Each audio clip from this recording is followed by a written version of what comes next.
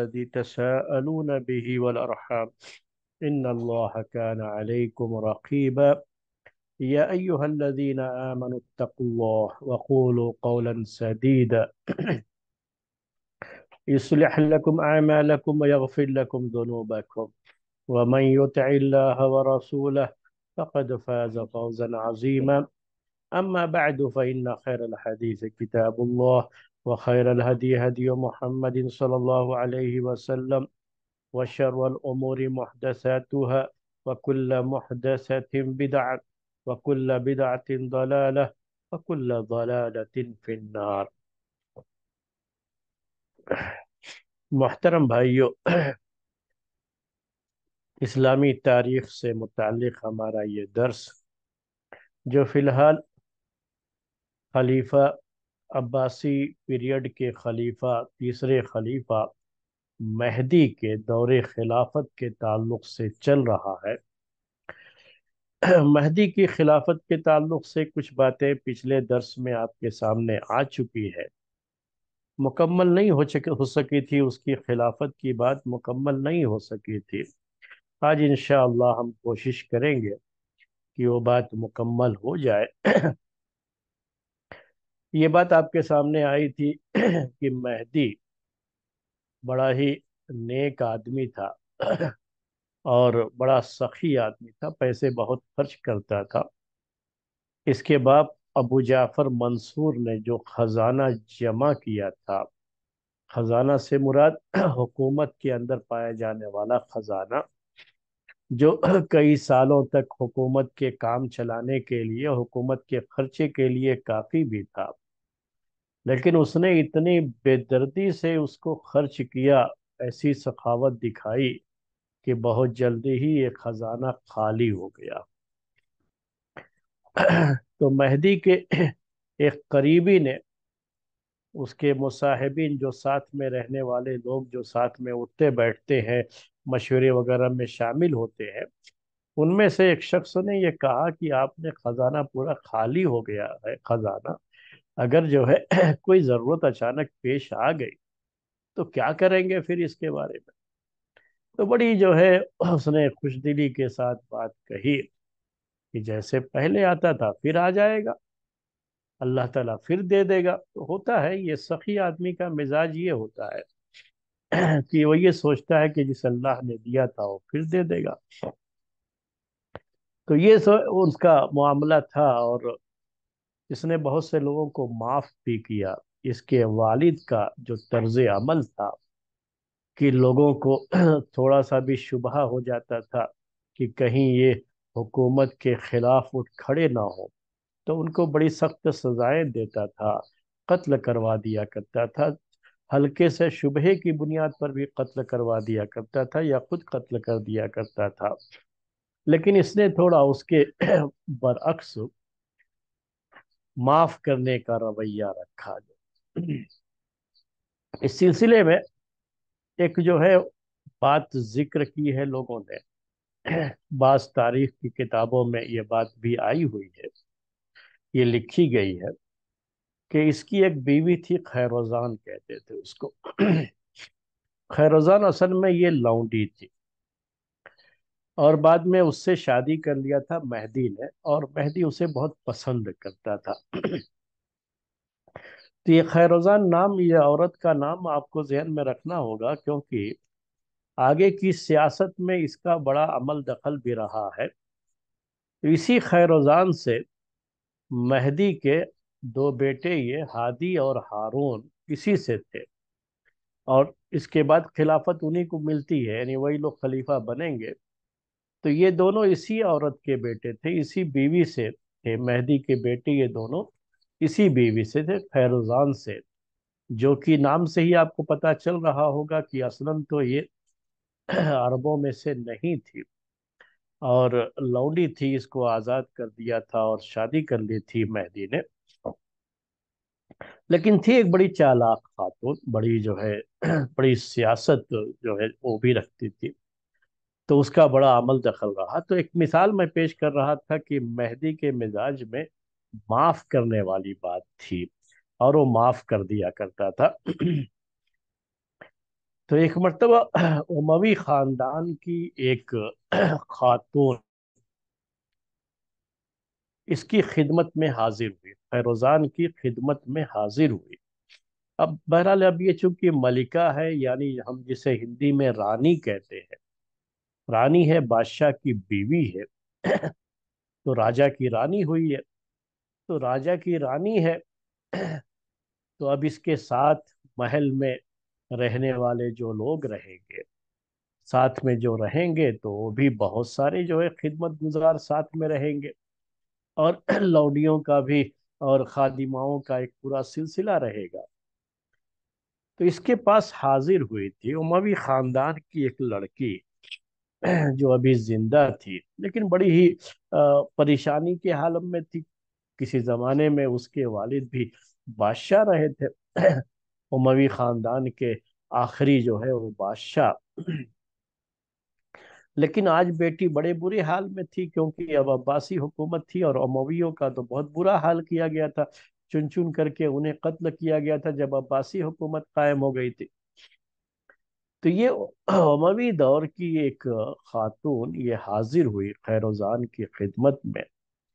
और उसने जो है, थोड़ा उसके से जो है मदद तलब की। उसके अपने हालात बहुत बुरे थे उसके लिहाज से। लेकिन जो मेहदी की बेटी थी, जो साथ में खातून थी उसके खैरोजान के, उसने जो है इसको पहचान लिया था और कहा कि तुमको तो किसी भी हाल में माफ़ी नहीं मिल सकती। बड़ा जो है सख्त रवैया अपनाया उसके साथ। मैं वो तफसील नहीं बयान करना चाहता, लेकिन उसने बड़ी जो है, बड़ा सख्त रवैया अपनाया। तो इसने जो है, बहरहाल कहा, ये बात भी कही कि ठीक है, उस वक्त जो भी हुआ था, जो भी मसला हुआ था, असल में जब आखिरी खलीफा थे उमवी दौर के तो उस वक्त अब्बासी हुकूमत की जो दावत दी जा रही थी अंदर अंदर तो कुछ लोगों को गिरफ़्तार कर लिया गया था।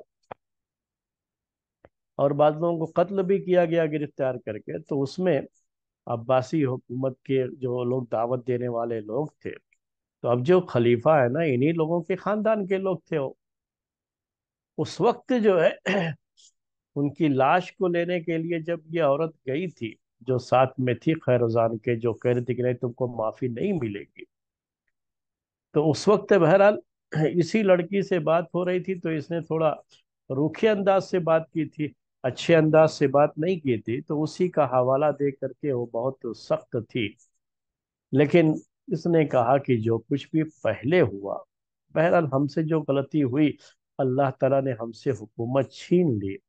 अब हुकूमत तुम लोगों के हाथ में आ गई है। तो क्या तुम अल्लाह का शुक्र नहीं अदा करना चाहोगी? इस अंदाज से कुछ बात करनी चाहिए। लेकिन ये बहुत सख्त थी और किसी हाल में भी माफ़ करने को तैयार नहीं थी। लेकिन खैरोज़ान ने जो मेहदी की बीवी थी, उसने बुला करके इसको पनाह दी, इसको अच्छे से जो है महल में जगह दी, रहने के लिए जगह दी, इसको अपने साथ रखा। मेहदी को जब पता चला इसके बारे में तो उसने भी जो है, ये बात उसने पसंद किया और उसको इनामों, इकराम से नवाजा उस लड़की को जो कि अमवी खानदान की थी। उसके साथ जो है उसने भी अच्छा सलूक किया, उसको दिरहम जो है बहुत सारे दिरहम दिए, इनाम भी दिया, अपनी तरफ़ से देखभाल जो है का पूरा सिलसिला रहा। तो मैं कहना यह चाह रहा था कि मेहदी का मिजाज कुछ इस तरह का था। उसके बाद मेहदी के दौरे हुकूमत में, जो उसके जो अहम कारनामे शुमार किए जाते हैं, उसमें से एक कारनामा ये है, उसके अहम जो काम है, कारनामा का मतलब यही होता है कि जो काम है, अहम काम जो उसने अंजाम दिए, उसमें से एक अहम काम ये था कि इसने ये कोफा बसरा का जो इराक का एरिया था, इराक के एरिए से लेकर के मदीना तक, मक्का तक, यमन तक, जो ये रास्ते थे, उस रास्ते में उसने बहुत तेज रफ्तार डाक का इंतज़ाम किया था। डाक का इंतज़ाम पहले से भी रहा है। डाक का इंतज़ाम का मतलब ये होता था कि एक जगह से कोई खत लिखा गया है, दूसरी जगह पहुंचाना है। तो उस जमाने में घोड़े घोड़े पर सवार लोग या ऊँटों पर सवार लोग लेकर के जाते थे और पहुँचा दिया करते थे, सफ़र करके जाना पड़ता था। तो बड़ा मुश्किल काम होता था ये। लेकिन डाक का ये निज़ाम रहा है, पोस्ट का ये निज़ाम रहा है। लेकिन मेहदी ने इस इस पे जो है बहुत तेज जो है, बहुत जल्दी कहिए स्पीड पोस्ट, आज के दौर में कहना हो। तो उसके लिए उसने बहुत सारे इंतज़ाम किए कि जल्द से जल्द ये पहुँच जाए वहाँ पर। उसके लिए शक्लें जो है अलग अलग पोस्ट जो है, बाकायदा जैसे अब आज हमारे यहाँ पोस्ट ऑफिसें होती है। तो जगह जगह रास्तों में इस तरह से पोस्ट की चौकियाँ बना दी उसने, जहाँ हर वक्त आदमी जो है तैयार रहता था। पहले से भी रही है चीज़ें, लेकिन हमने, हम कहना ये चाह रहे हैं कि उसने जो है, इसको और ज़्यादा तेज़ी जो है इसके अंदर पैदा कर दी। कि जल्द अज जल्द ये खत जिसके पास जाना है उसके पास पहुँच जाए। तो वहाँ आदमी तैयार रहेगा जैसे ही एक, एक शख्स लेकर के वहाँ तक पहुँचा अब ये थका मादा होगा तो अब ये वहाँ आराम कर लेगा और वहाँ से वो शख्स जो है दूसरा शख्स जो तैयार होगा वो खत लेकर के आगे की तरफ़ बढ़ जाया करेगा। तो ये सिलसिला जो है बहुत जल्दी खत पहुँचाने के लिए इख्तियार किया गया था। ये भी जो है एक मसला आपके सामने जो है पेश कर दूँ कि जो रास्ते थे मक्का और मदीना जाने के खास तरीके से, हज का जो सफ़र होता था, उसको और आसान करने के लिए इसने रास्तों का तो इंतज़ाम किया। आज के दौर में जिसे आप इंफ्रास्ट्रक्चर कहते हैं ना कि हुकूमत की जो ये काम होते हैं तो इस काम की तरफ़ उसने बड़ी तवज्जो दी थी। तो रास्तों के इसलाह करना, मरम्मत करना, सही करना, जो मक्के मदीने को हज के लिए जो रास्ते जाते हैं तो वहाँ पर रास्तों की इसलाह के साथ साथ जगह जगह उसने हाउस बनवा दिए थे। जगह जगह बाज कमरे तामीर करा दिए थे, ताकि जाने वालों को जो है कहीं थोड़ा आराम का भी मौका मिल जाए, पानी वगैरह का जो कि हाउस है बने हुए। हाउस जो है ये तालाब की, इसकी तरह से पौंड जिसे आप कहते हैं या जो है पुल जिसे कहते हैं, जैसे स्विमिंग पूल वगैरह होता है तो उस तरह की चीज़ें जो है जगह जगह बना दी थी उसने, ताकि वहाँ से गुजरने वालों के लिए पानी का इंतज़ाम रहे। तो ये सब अच्छे काम शुमार किए जाते हैं। उसने अपने दौर में इस तरह की आसानियाँ हज के सफ़र में जाने वालों के लिए की थी। जब हज पर गया था तो मस्जिद नबवी की तामीर, मस्जिद नबवी जो पहले से चली आ रही थी उसको और ज़्यादा वसी करना, यानी और ज़्यादा जो है उसको कुशादा कर देना, उसको बढ़ा देना। जिसे आज की जबान में आप कहते हैं ना कि जो है, जो चीज़ पहले से मौजूद है, उसको एक्सटेंशन करना जिसे कहते हैं तो उसको और बढ़ा दिया, ने तोसी करा दी, उसको जो है उसने किया था। इसी तरीके से काबा पर बहुत सारे गिलाफ चढ़े हुए थे। पहले से क्या करते थे लोग? वो गिलाफ ला करके चढ़ा दिया, गिलाफ ला के चढ़ा दिया। वो गिलाफ चढ़ते चढ़ते इतना वजनी हो चुका था, इतने सारे गिलाफ चढ़ चुके थे कि ये डर था कि कहीं जो है काबे की दीवारें मुतासर ना हो जाए उससे तो इसने जो है काम ये किया कि वो सारे गिलाफ वहाँ से उतरवा दिए। और एक अच्छा सा गिलाफ तैयार करके, एक ही गिलाफ तैयार करके खूबसूरत सा, उससे जो है खाने काबा पर, अल्लाह के घर पर वो गिलाफ चढ़ा दिया। और वहाँ की तोसी का काम भी इसके दौरे खिलाफत में हुआ। यानी जो आसपास के मकानात थे, वो खरीद करके वहाँ से तोसी का काम, हरम को और जो है कुशादा कर दिया। तो मेहदी ने यह काम भी अपने दौरे खिलाफत में अंजाम दिया था। कोशिश ये की थी कि हाजियों को किसी तरह की तकलीफ़ ना हो, परेशानी ना हो। इसका एक और काम जो है, जो शहर आबाद कराया गया था, जो बगदाद शहर जो हम कहते हैं, जो इस अब्बासी हुकूमत का बाद में जो है तामीर होने के बाद वही इनका दारुल खिलाफा रहा है और वही शहर मशहूर हुआ बाद में। और आज तक इराक का जो है कैपिटल सिटी वही है। तो ये दजला के, दजला जो मशहूर वहाँ का दरिया है, उसके एक किनारे पर, जिसको आप मशक़ी किनारा कह सकते हैं। मशक़ी का मतलब होता है ईस्ट जो। ईस्ट वाले किनारे पर इसको बसाया गया। लेकिन जो वेस्ट वाला किनारा है, वो वैसे ही खाली था। इसने कोशिश ये किया कि उधर भी तामीरात का काम शुरू कर दे। तो बहुत सारी सरकारी ऑफिसें वगैरह उसने जो है उधर महल तामीर करवाए ताकि जो है उधर भी कुछ काम हो और उस साइड में भी आबादी हो गई। इस तरह से बगदाद शहर अब उसके बीच में ये दरियाए दजला हो गया। तो इससे आप समझते हैं कि शहर की खूबसूरती में और इजाफा हो जाता है। जब चारों तरफ़ आबादी हो और बीच में दरिया बह रहा हो तो उस शहर को उससे जो है चार चाँद लग जाते हैं। एक खराबी इसमें यह हो गई थी कि जब दजला में पानी बहुत ज़्यादा आ जाता था तो थोड़ी बहुत जो आबादियाँ वहाँ कच्चे मकानों की आबादियों मुतासर हो जाती है जब पानी ज़्यादा हो जाता है, वो आप समझ सकते हैं। लेकिन बहरहाल वो शहर जो बनाया इस तरीके से तो बड़ा उम्दा शहर बन गया था, बीच में दरियाए दजला बह रहा है। उसके बाद उसके जो है अहम कारनामों में से एक कारनामा, जो बहुत ज़रूरी है तारीख जो है पढ़ने वालों के लिए, वो जानना बहुत ज़रूरी है, वो है जिंदीक जो है लोगों का खातिमा करना, जनादिका का खातिमा करना। मतलब क्या है मेरा कहने का ये ये कौम जिसे जिंदीक कहा जाता है। ये असल फारसी लफ्ज़ उसी से ये जो है लफ्ज़ आया है और अरबी में इस्तेमाल होता है, जिंदीक कहते हैं उसको। इसको समझने के लिए इतना काफ़ी है कि आप यूँ समझ लीजिए कि जिंदीक का मतलब होता था कि जिन्होंने ज़बान से तो कलीमा पढ़ा है, लेकिन उनके दिलों में ईमान नहीं होता था। बज़ाहिर तो मुसलमान, लेकिन हकीकत में मुसलमान नहीं। उन्होंने बड़ा नुकसान पहुँचाया था उस वक्त, और बड़े गलत किस्म के अकीदे लोगों के अंदर वो जो है उसने ऐसे लोगों ने डालने शुरू किए।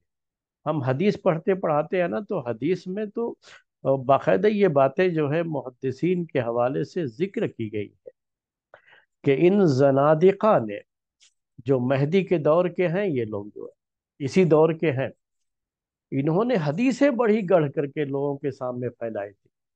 यानी जो मनगढ़ंत हदीसें हैं फैब्रिकेटेड जो हदीसें कहलाती हैं तो इन जनादिका ने बहुत सी हदीसें जो अपनी तरफ़ से गढ़ करके अल्लाह के रसूल वसल्लम की तरफ़ नस्बत करके वो बयान करते थे।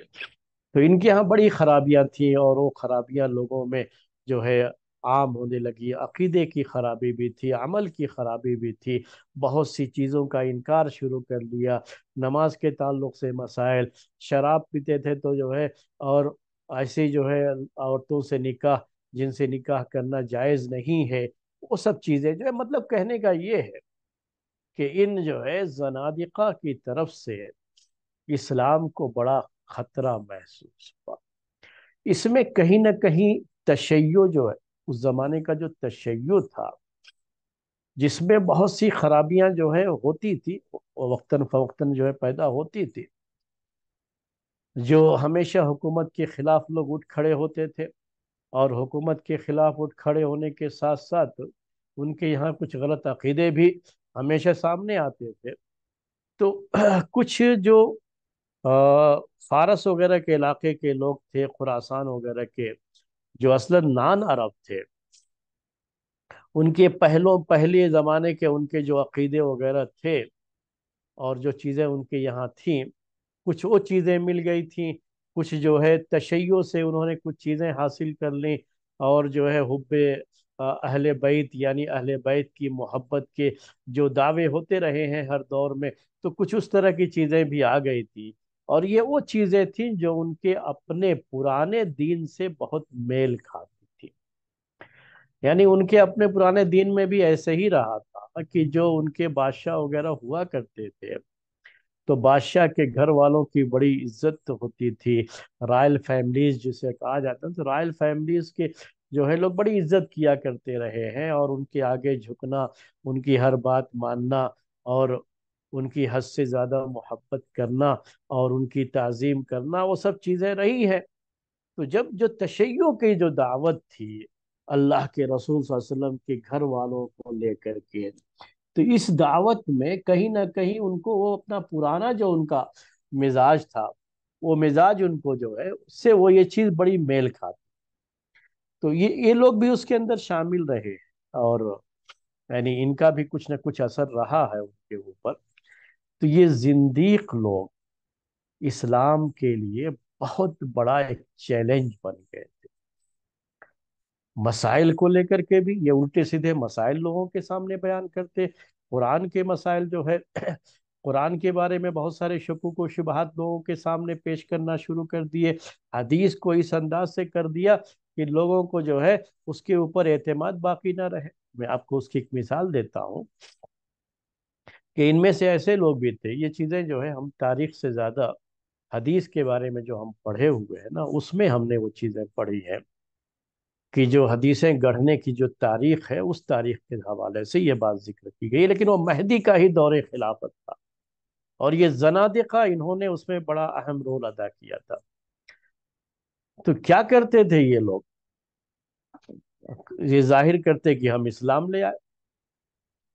और इस्लाम लाने के बाद हदीसें बयान करना शुरू कर देते थे। उसके बाद फिर क्या करते ये लोग? ऐलान करते कि नहीं, हमने इस्लाम को छोड़ दिया। उनके पहले से ही ऐसे कारनामे भी होते थे जो इस्लाम के खिलाफ ही होते थे। वज़ाहिरी इस्लाम उनका होता था, अंदर से इस्लाम नहीं होता था, इसलिए उनको जिंदीक कहा जाता है। तो जिंदीक जो है ये काफिर ही माने जाते तो ये लोग क्या करते हैं कि उसके बाद ये कहते कि हम जब अब मुसलमान थे ना तो हमने लाखों हदीसें गढ़ करके लोगों में फैला दी है। और ये हदीसें मुसलमानों में गर्दिश कर रही हैं, मुसलमानों में आम हो गई है। ये लोग उन्हीं सब चीज़ों पर अमल कर रहे हैं। अब ये सब क्या होता है? इस तरह के जब दावे होते हैं, इस तरह की बातें होती है ना तो हर कोई सुनने वाला शुभे में आ जाता है, हदीस को लेकर के। वो डाउट तो कहीं ना कहीं उसके मन में आ जाएगा ना कि भाई अब पता नहीं कौन सी हदीस, जो मैं अमल कर रहा हूँ, यही हदीस ये हदीस भी तो उसमें से नहीं है, जो इन जिंदगियों ने गढ़ करके हमारे दरमियान फैला दिया तो ये जो, हालाँकि ये सच्चे नहीं होते थे उसमें उन लोगों ने हदीसें गढ़ने का काम किया, उसको जो है पहचान भी लिया गया मुहदसिन ने पहचान भी कर ली उसकी, उस जमाने के जो मुहदसिन थे, उन्होंने वो सब बयान भी कर दिया कि कौन सी हदीसें जो है इन लोगों ने गढ़ी हैं, वो सारी चीज़ें हो चुकी लेकिन ये जो है, एतराफ़ जो उनका होता था, जो ये कहते थे कि हमने इतनी हदीसें गढ़ ली और ये सब मुसलमानों में आम हो गई तो ये झूठे दावे। इससे उनका मकसद होता था कि इनके दिलों में हदीस को लेकर के शकूक को शुबहात डाल दिए जाए और इस वजह से ये लोग हदीस पर अमल करना छोड़ देंगे, ये मकसद जो है। और जब हदीस ही छोड़ दिया आपने तो फिर दिन में बाकी ही क्या बचा है? जब हदीस पर अमल करना छोड़ देंगे ना तो कुरान पर सिर्फ़ आप अमल नहीं कर सकते। उसे कुरान के ताल्लुक से भी ये शकूक को शुबहत पैदा करते थे लोगों के दिलों में।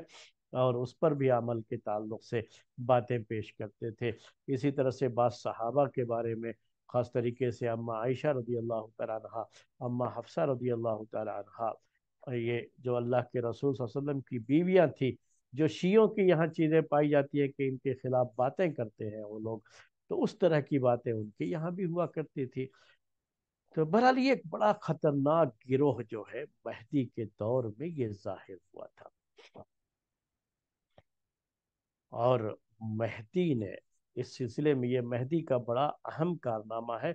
इस खलीफा का ये बड़ा अहम कारनामा महदी ने बड़ा सख्त इस सिलसिले में ऑर्डिनेंस जो है अपने यहाँ पास किया और उसको नाफिज करवाया। बाकायदा उसने इसका एक महकमा बना महकमा का मतलब समझ लीजिए कि आज के दौर में एक डिपार्टमेंट कह लीजिए, इसका अलग से बना दिया, जिसका काम ही यही था।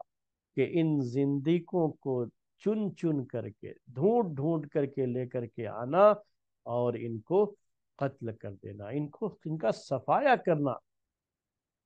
ये जो है, बिल्कुल उसने अपनी तरफ़ से मुतन कर दिया था। यहाँ तक कि हमने तारीख जो हदीस की पढ़ी है, उसमें जो है, ये बात भी जो है, ज़िक्र की गई है कि उसका एक शख्स था मेहदी का, जो लोगों के सर कलम किया करता था।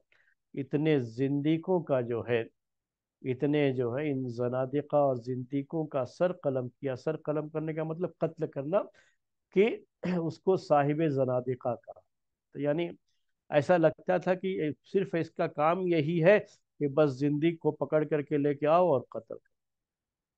ये जो सख्त इकदाम किया था, मेहदी ने सख्त कदम उठाया था, उसकी वजह से ये बहुत जल्दी ये फितना ख़त्म हुआ। ये जिंदीकों का फितना था ये। और ये बहुत बड़ा ख़तरा था।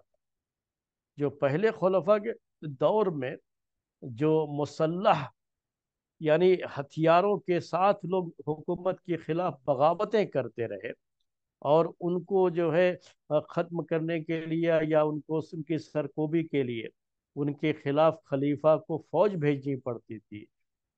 उस जो है उन जंगों से कहीं ज़्यादा ख़तरनाक फितना ये जिंदीकों का फितना था। जिन्होंने तलवार तो नहीं उठाई, हथियार तो नहीं उठाए, लेकिन इस्लाम के जो है रोशन चेहरे को इन्होंने दागदार करना चाहा और मुसलमानों के दिलों में इस्लाम को लेकर के और जो हमारी जो है शरीयत के अहम सर चश्मे हैं कुरान और हदीस, उसको लेकर के लोगों के दिलों को उसकी तरफ़ से मुतनफ़िर करना या उनके दिलों में शकु को शुबहत पैदा करना, ये एक बड़ी ख़तरनाक बीमारी थी, बड़ी ख़तरनाक चाल थी जो इन जिंदगियों ने चली थी और उनकी सरकूबी के लिए मेहदी ने बड़ा अहम कारनामा अंजाम दिया, ख़त्म किया उसने उसको। बाज लोग उसमें से रह गए थे, जिनको जेल में डाला गया था और उसकी वजह ये थी कि मेहदी ने कसम खा रखी थी कि वो हाशमी को कत्ल नहीं करेगा। यानी बनु हाशिम के लोग हैं, उनको कत्ल नहीं करेगा। तो इसी तरह से बनु हाशिम का एक आदमी जिंदीक बन गया था। उसको जेल में डाल दिया गया था, उसको कत्ल नहीं किया था, जो है मेहदी ने। लेकिन अपने बेटे को, जो क्राउन प्रिंस था उसको ये वसीयत कर दी थी कि भाई मैं तो अपनी कसम की वजह से उसको नहीं जो है कत्ल करवा सका। लेकिन जब तुम खलीफा बनोगे ना तो पहला काम यही करना कि उसको कत्ल करवा देना, उसको ख़त्म करवा देना। तो किसी ज़िंदगी को ज़िंदा ना छोड़ा जाए। ये जो है उसका मिजाज था।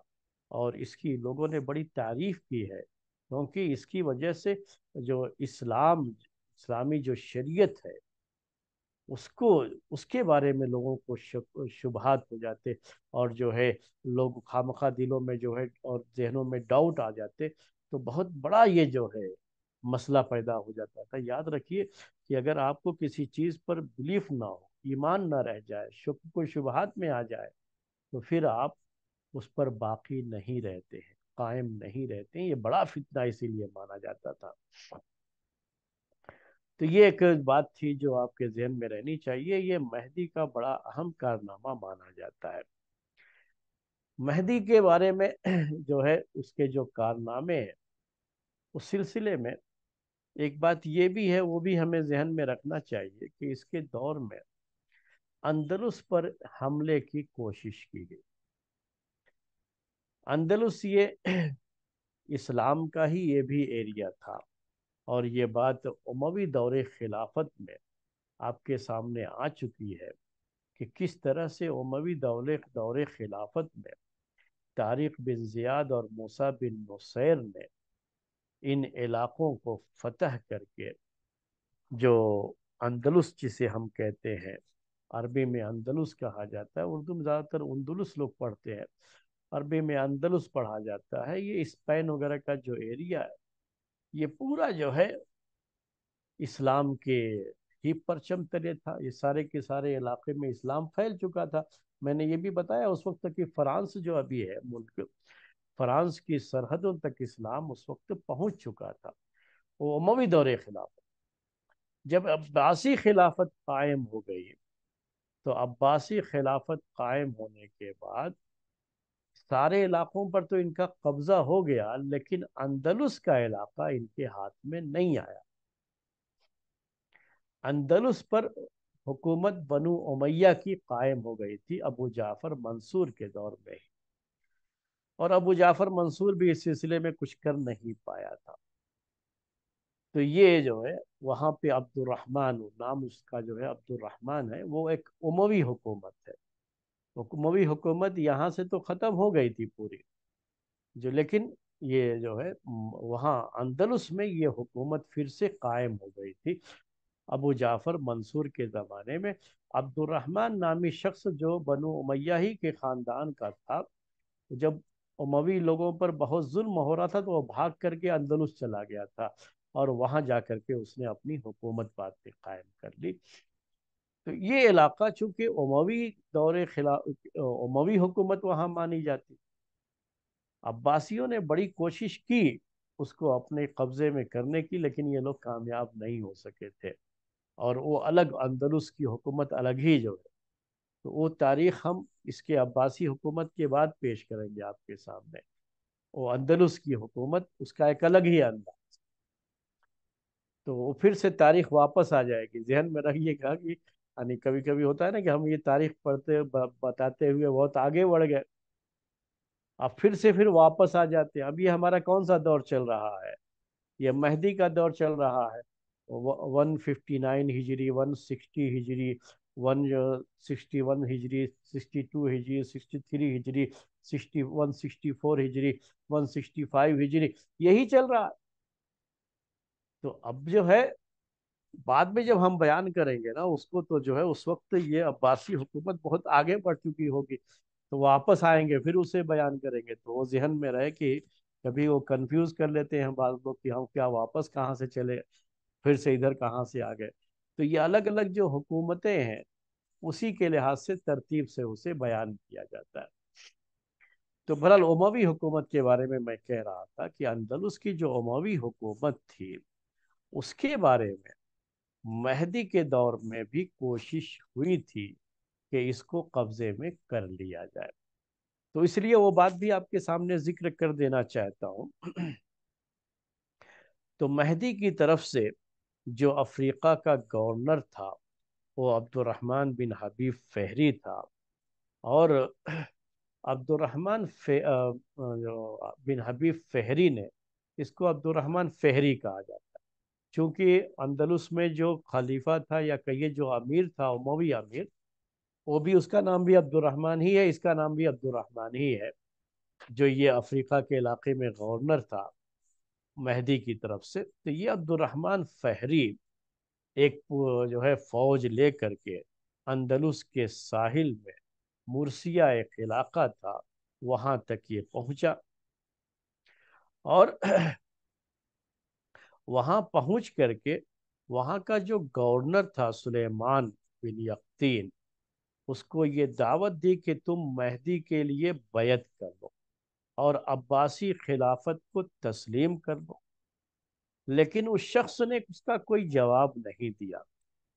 तो उसके बाद अब्दुलरहमान फेहरी ने सरकस्त का जो इलाका था उस पर हमला कर दिया और हमला करके सुलेमान बिन यकीन जो कि उमवी हुकूमत का गवर्नर था, उसको वहाँ से, उसको हरा दिया, उसको वहाँ से भगा दिया। तो अब ये अब्दुलरहमान फहरी जो है, वहाँ पर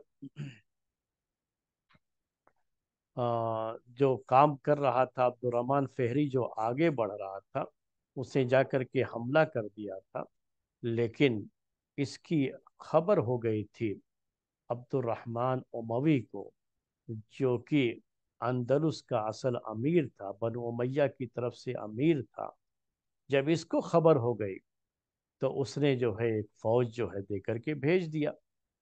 जब फौज वहाँ पहुँची, उमवी खा जो है अमीर की फौज पहुँची तो उसने अब्दुलरहमान बिन अब्दुलरहमान फहरी, जो बनु, जो बनु अब्बासिया की तरफ़ से था, जो गया था उस पर कब्जे के लिए, उसकी जो कश्तियाँ थी, सबको जला दिया उसने।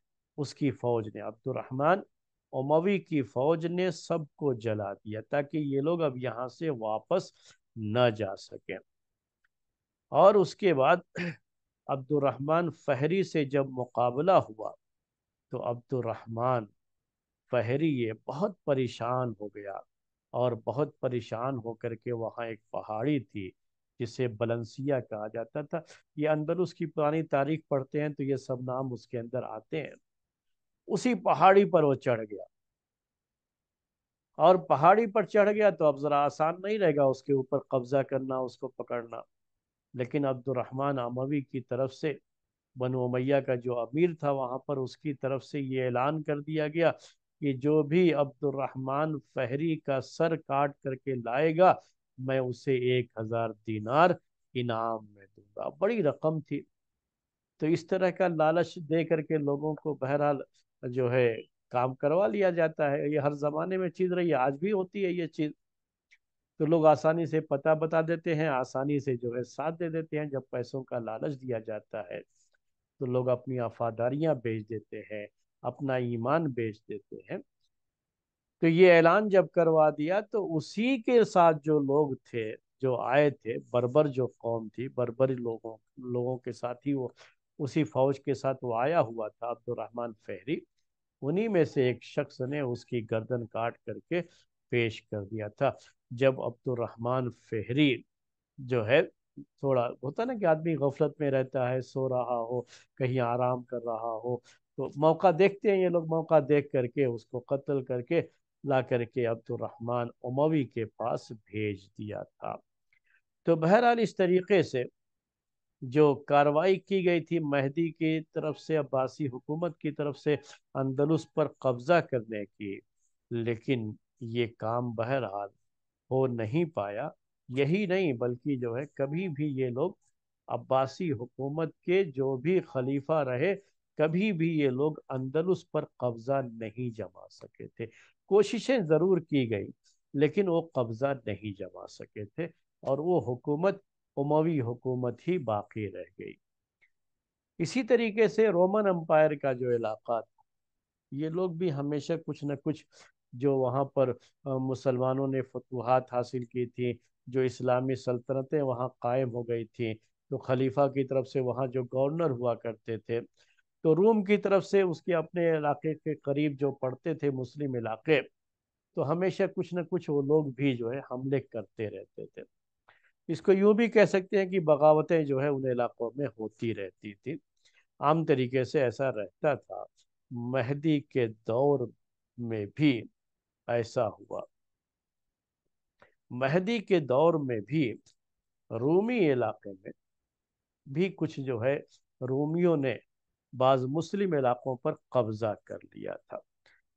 अब जब बाज जो है रोमी इलाकों पर मुस्लिम इलाकों पर उन्होंने रोमियों ने कब्जा कर लिया, जो ईसाई लोग थे उन्होंने कब्जा कर लिया था। तो कब्जा कर लेने के बाद बाकायदा उसकी जो है मुकाबले के लिए महदी ने हुक्म भी दिया, फौज भी भेजी, बल्कि ये भी हुआ कि शुरू में जब जो फौज भेजी थी उसने वो लोग ज़्यादा कामयाब नहीं नज़र आ रहे थे। तो इसने खुद जो है महदी ने बगदाद में, जो कि उसका कैपिटल सिटी था, अपने बेटे हादी को अपना नायब बना करके, यानी उसकी गैर मौजूदगी में वो सारा काम देखेगा और अपने दूसरे बेटे हारून को साथ में ले करके वो खुद जो है गया और वहाँ सफ़र में मोसिल जजीरा से गुज़रता हुआ, जो है, वहाँ तक जो है पहुँचा था। उसने अपने बेटे को आज़रबाईजान आर्मीनिया और मगरब के जो और इलाके थे, उसका गवर्नर बना दिया था और रोमियो पर उसने जो है, उस वक्त चढ़ाई की थी। उसकी चढ़ाई करने की वजह मैंने आपको बता दिया, यानी हमला करने की वजह यही थी। कि वो लोग जो वहाँ मुस्लिम आबादियाँ थी, उनके ऊपर हमला करते थे और बहुत से लोगों को उन्होंने हमला करके कत्ल भी किया था, पीछे भी भगा दिया था, बहुत सी ऐसी चीज़ें हुई थी। तो ये जो है, हारून मेहदी ने ये काम जो है, ये थोड़ा यहाँ पर हिम्मत दिखाई थी उसने। आम तरीके से इसके दौर में कोई जंगें वगैरह नहीं हुई, लेकिन यहाँ रोमियों के साथ थोड़ा मुकाबला रहा। अंदर उस पर चढ़ाई की भी कोशिश की गई थी, वो कामयाब नहीं हुई होती। और रोमियों के साथ मुकाबला जो रहा है तो बहरहाल जब दूसरी मरतबा ये रोमियों से मुकाबले के लिए अपने बेटे हारून को इसने भेजा था तो हारून उसमें बहुत आगे तक पहुँच गया था। और रोमियों की फौज को शिकस्त दे करके हरा करके पीछे ढकेल दिया और कुस्तुनतुनिया तक वो पहुँच गया था। तो ये कुस्तुनतुनिया ये इलाका जो है कुस्तुनतुनिया की ये जंग आप तारीख में बहुत सुनते रहे ये नाम भी बहुत सुनते रहेंगे।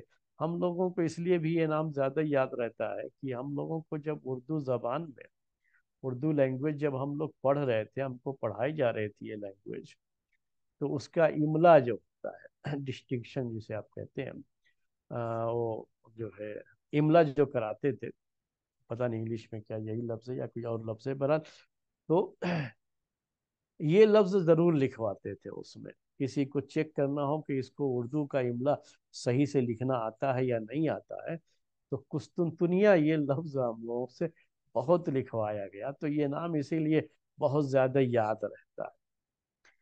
तो मैंने कहा आपसे कि कुस्तुनतुनिया तक जो है ये हारून जो कि मेहदी का बेटा था वहाँ तक पहुँच गया था। और वहाँ तक पहुँच करके अब वहाँ रोमियो को थोड़ा ये हो गया कि शायद हमारे लिए मुश्किल है इनसे मुकाबला करना। तो उन्होंने सुलह कर ली और सुलह किया और वहाँ से जिजिया देना मंजूर कर लिया था। और जब सुलह कर ली तो सुलह जो है करके और पूरी उसकी जो शर्तें होती हैं जो उसके कंडीशंस होते हैं जो है सुलह में, वो सब जो है तय करके वहाँ से वो वापस आ गया। और हारून जो है, और हारून की सलाहियत मेहदी के सामने बहुत ज़ाहिर हो गई थी। और मेहदी को लगा कि मेरा ये बेटा बड़ा ही जो है होनहार है और इसके अंदर बड़ी सलाहियत है और वाकई ये हुकूमत का काम अच्छी तरह संभाल सकता है। तो जितने भी उस तरह के इलाके थे, उधर मगरब के इलाके जितने भी थे, सबका हाकिम इसी को मुकर्र कर दिया था। मेहदी ने पूरा इलाका यही देखेगा। मेहदी ने एक काम और किया, वो आपको बताऊँ, हालाँकि आदमी बहुत अच्छा था। मैंने बार बार आपके सामने ज़िक्र किया, लेकिन वो गलती जो आम तरीके से खुलफा करते रहे हैं, वो गलती मेहदी ने भी की।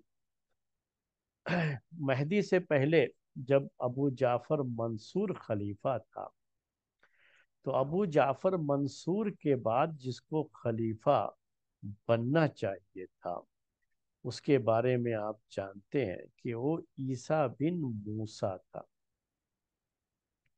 ईसा बिन मूसा, अबुल अब्बास सफ़ाह ने कुछ इसी तरतीब से रखा था कि मंसूर खलीफा बनेगा और उसके बाद ईसा बिन मूसा। लेकिन जब खलीफा बन जाते थे लोग तो लालच उनकी ये हो जाती थी कि ये लोग पहले, जो पहले का क्राउन प्रिंस है, उसको हटा करके अपने बेटे को क्राउन प्रिंस बना दें, जिसे हम अरबी में वली अहद कहते हैं। यानी अब मेरे बाद खलीफा ये बनेगा। ये उसका मतलब होता था। तो उसी को क्राउन प्रिंस कहा जाता है। तो क्राउन प्रिंस ये असल में ईसा बिन मूसा था। और अब मेहदी के बाद, ये हारून के बाद जो क्या कर रहा हूँ, अबू जाफ़र मंसूर के बाद बनना था उसी को, ईसा बिन मूसा को। लेकिन अबू जाफ़र मंसूर ने अपने बेटे मेहदी के नाम से बैत ले ली थी और इसको पीछे ढकेल दिया था। तो पहले जो है क्राउन प्रिंस से इसको बना दिया था मेहदी को। और मेहदी के बाद ईसा बिन मूसा बनेगा। तो एक नंबर उसको पीछे ढकेल दिया गया। अब जब मेहदी का दौर आया तो मेहदी ने फिर वही गलती दोहराई कि इसने भी ईसा बिन मूसा, अब क्राउन प्रिंस है, उसको बनना है मेहदी के बाद खलीफा। लेकिन इसको भी नहीं जो है चैन आया, इसने भी ये तय किया कि अपने बेटे को मैं क्राउन प्रिंस बनाऊँ। और ईसा बिन मूसा को हटा दो।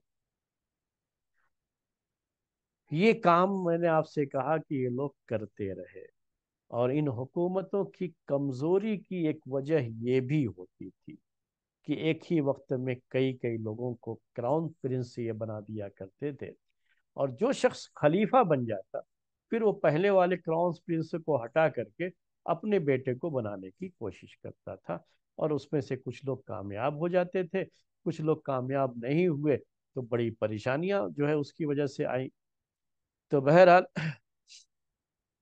मेहदी के बाद ईसा बिन मूसा वली अहद था, लेकिन मैंने कहा कि मेहदी की ख्वाहिश ये हो गई कि अपने बेटे हादी को क्राउन प्रिंस बनाए तो सबसे पहले अब ये बनने के लिए ज़रूरी हो गया था कि ये ईसा बिन मूसा अपनी जो वो चूँकि क्राउन प्रिंस है तो उससे वो तनाजुल इख्तियार करते यानी वो विड्रा कर दे आज की ज़बान में कहना हो तो क्या कहेंगे? विड्रा कर दे वो खुद ये कह दे कि मैं इससे हट रहा हूँ ताकि मेहदी के लिए ये आसान हो जाए कि अपने बेटे हादी को वो अपना क्राउन प्रिंस बना दे।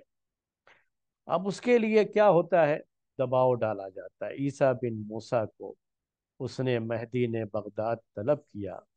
लेकिन ईसा बिन मूसा को पहले से ही तजर्बा बहुत था कि मकसद यही होता है कि हमको क्राउन प्रिंस के इस अहदे से हटा करके अपने बेटे को क्राउन प्रिंस बनाने का खलीफा को ख्याल आ गया होगा। इसीलिए बुलाया है।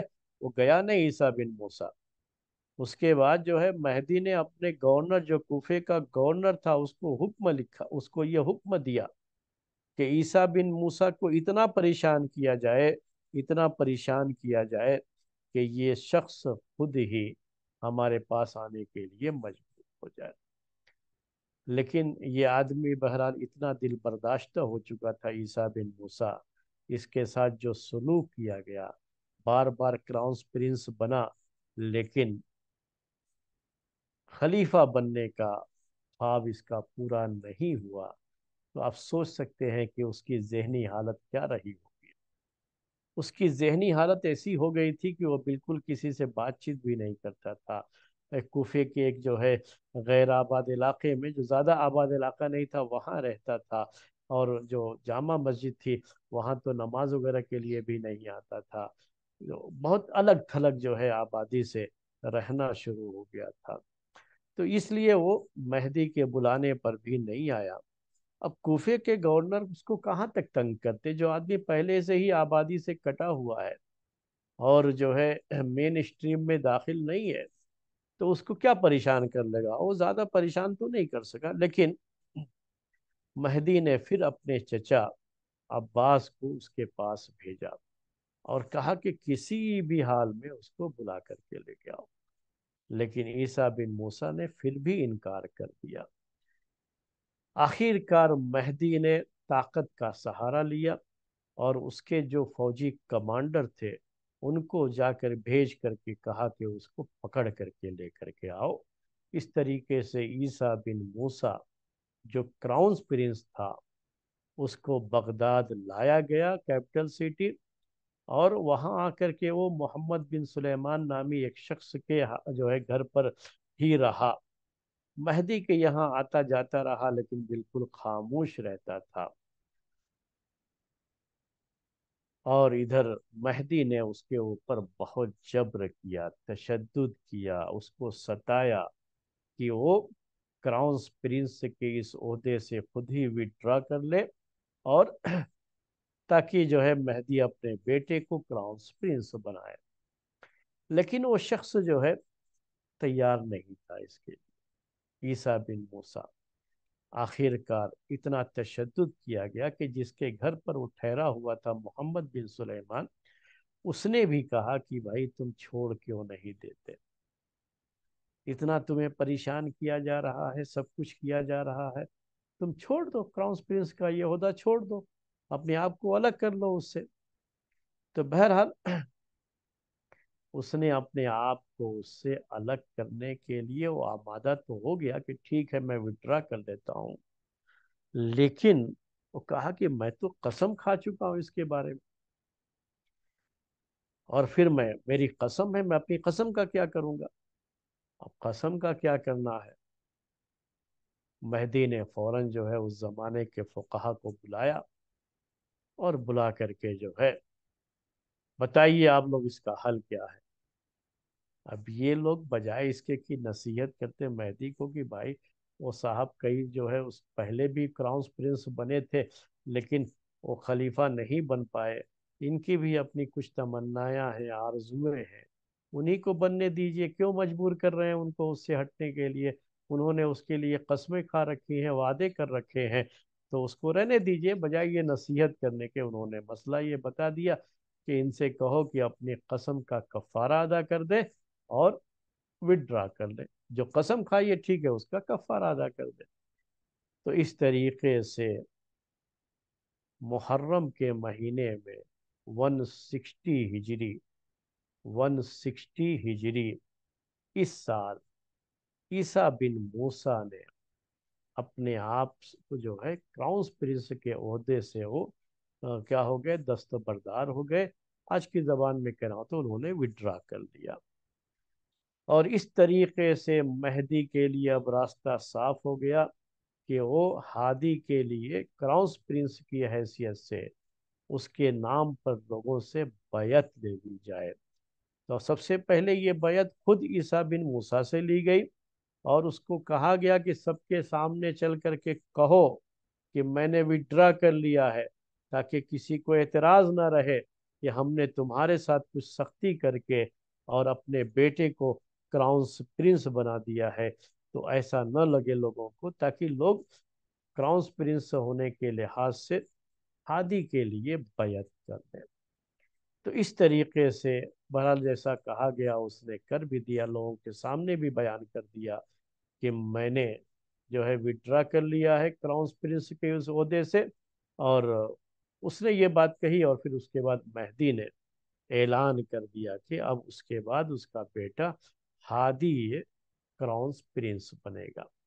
और हादी के बाद हारून को रखा। हारून, हादी और हारून दोनों उसके बेटे हैं। तो पहले हादी को रखा, फिर हारून को रखा। ये भी आपके सामने बता दूँ, आपको ये वाजे कर दूँ कि बाद में मेहदी को ये एहसास हुआ कि उसका बेटा हारून ये हादी से कहीं ज़्यादा होशियार है और हुकूमत का काम संभालने में उसके पास सलाहियत ज़्यादा है।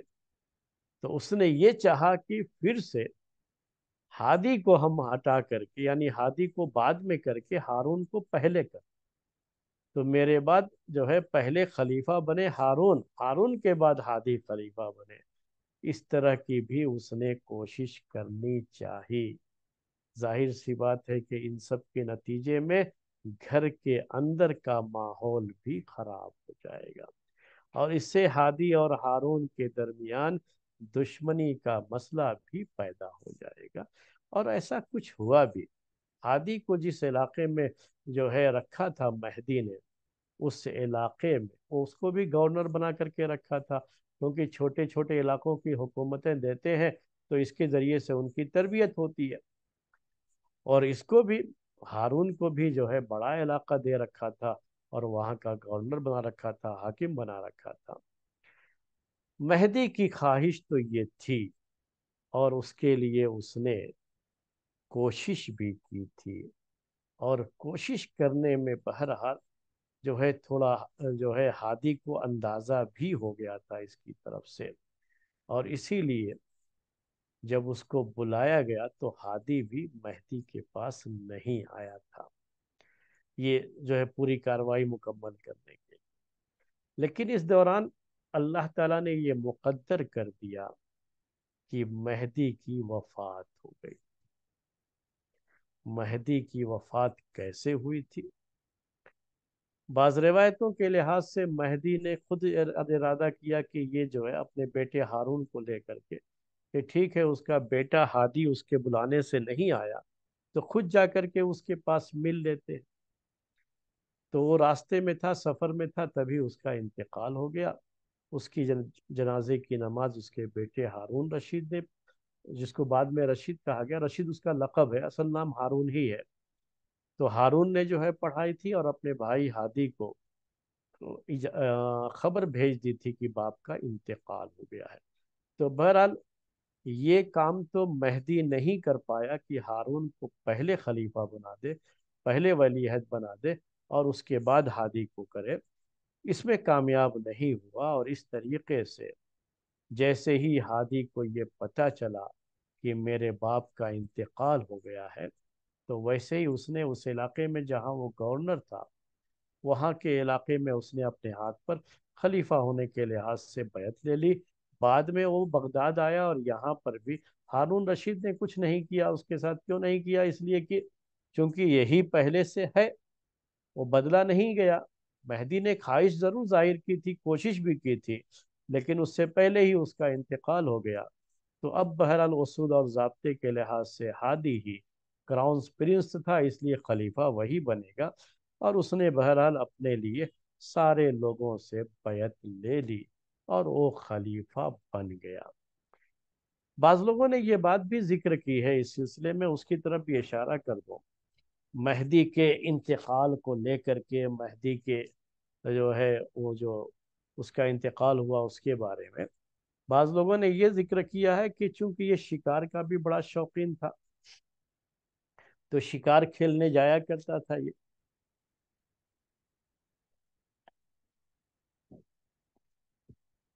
किसी खलीफा का शिकार खेलना या शिकार खेलने के लिए जाना, उस जमाने की आदत के लिहाज से ये कोई बुरी चीज़ नहीं थी। असल में ये बातें यजीद के बारे में भी कही जाती तो इसीलिए मैं थोड़ी सी वजाहत कर दूँ ये, कि ये कोई जो है मायूब चीज़, यानी कोई ये आयब वाली चीज़ नहीं थी, बल्कि ये तो बहादुरी का एक हिस्सा मानते थे कि जंगलों में चले जाते थे और जा करके शिकार करते थे, शिकार करके लेके आते थे।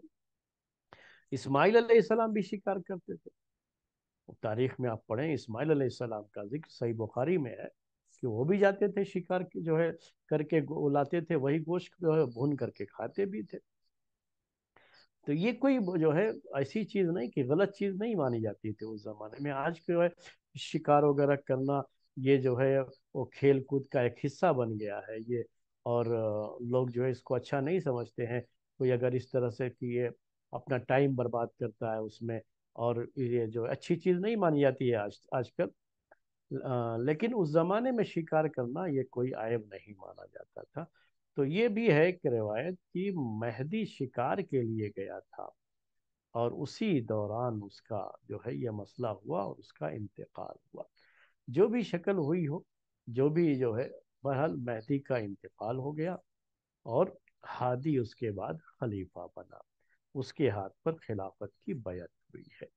तो ये मेहदी का पूरा ज़माना था, मेहदी का पूरा कारनामा था जो आपके सामने पेश हुआ है आज का दर्स। इसी पर ख़त्म करते हैं। सुबहानकल्लाहुम्दिका